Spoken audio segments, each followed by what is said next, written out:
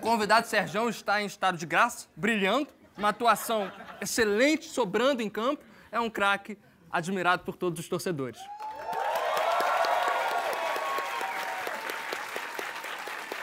É isso. Mas o Rafael é um guerreiro. Obrigado, meu Ele está pronto para surpreender a gente e agora vem a pergunta. Vai. Será que ele vai perguntar? Será que não vai perguntar? Limpou a garganta. Cadê barulho de limpar a garganta?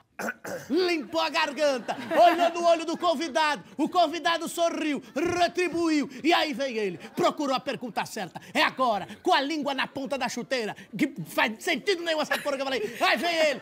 Rafael Portugal. Vai perguntar, vai perguntar, pergunta! Serjão, você começou na Ilda Furacão?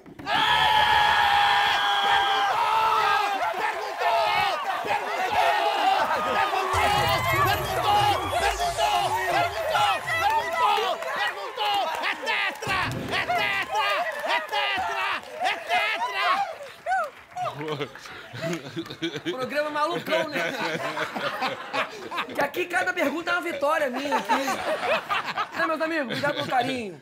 Começou na Ilda Furacão. Bom, realmente Na no- é, foi um televisão. momento complicado, onde, pô, eu tava vindo de condução, mas graças a Deus, pô, conseguimos fazer esse trabalho legal lá na Ilha do Furacão, através do MC, que era um radialista, né? Sim. E conseguimos, graças a Deus, três pontos que foram bastante importantes para nossa classificação. Esse É foi o. Sérgio Lourosa aí, ó! Sérgio Lourosa! Galvão! Com a Fala, gente aqui. Rafael. Ô, Sérgio, deixa eu te perguntar. Tô aqui em campo ainda, tá, Galvão? Pode continuar, que não tem nem fala pra mim agora. Como é que tu entrou na televisão, Sérgio? Ah, é muito, muito através da música mesmo, assim, né? Foi? Eu tinha uma banda chamada Sindicato Soul. E que, pô, aqui é, o Max Viana, que era guitarrista, É, o conheci Max o, Viana, pô. conheci o, o Wolf Maia, aí chamou ele pra ir pra lá, e, pô, é assim, aí o Wolf me, me chamou pra um espetáculo teatral, pra fazer um espetáculo com ele, e depois me chamou pra TV. E, pô, é muito doido, assim, né? Porque é alguma coisa que é muito complicado. Naquele momento, principalmente, assim, alguém como eu, né, com, com as características que tem de negroide, Uhum. né, pô, retinto, e, pô, suburbano, e favelado, todas as coisas, pô, bicho, assim, era muito grandioso. Hoje em dia, graças a Deus, a gente tá vendo isso repetir em outra, outra galera. É pouquíssimo, mas estamos no caminho. É melhor isso. Claro. Isso aí. É isso.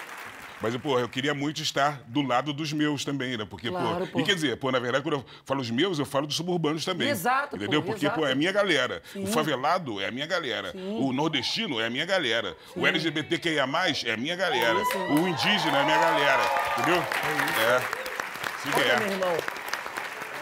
Tu leva contigo tudo isso junto, porque Porra. é isso. A gente que é suburbano, e eu tenho muito orgulho de falar de onde eu sou sempre e colocar as coisas de onde eu sou sempre, porque é uma vitória, não só minha, mas de quem foi criado comigo. Ver a alegria dos meus amigos, meus familiares. Tem uma galera que, assim, que às vezes não entende o porquê do orgulho do gueto. Exato. Ser do, ser do subúrbio, ser da favela, Sim, ser da aí. periferia é algo que me orgulha pra caramba, não, meu pai? Esse bagulho.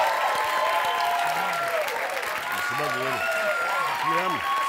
Isso mesmo. Você é foda, Sérgio.